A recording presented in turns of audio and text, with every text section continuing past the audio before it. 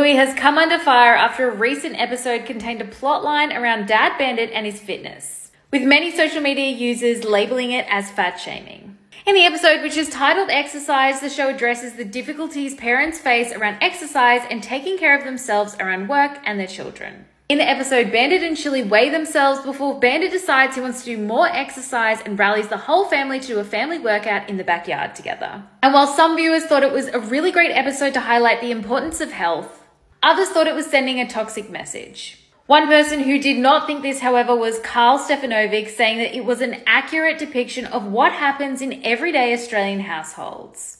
He said, Can you believe this? I think this is just fantastic. I mean, it's a bit of Australiana. It plays out in households across Australia, and all of these influences are coming out now going, Oh, Bluey is fat shaming. It's disgusting. Give it a rest. Come on.